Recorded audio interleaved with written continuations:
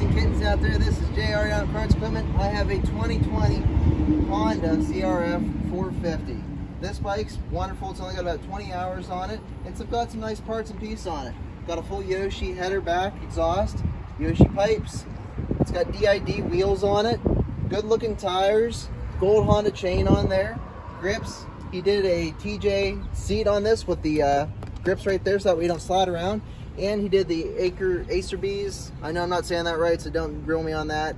But the uh, sliders right there, that way your boots don't wear through and hit on the on the actual frame of the bike. Bike's in great shape. It is electric start. It's got the two power commanders on it. He's got moose arc lever on the left side and just a fun bike. If you love 450s, Hondas are a little bit shorter, so I'm only 5'11", and I fit this bike really great. But definitely get a chance to come on down here at Carns Equipment. Ask for Eric, Derek, Sam, Kurt, or Justin. We'll get you fixed up and get this into your garage today.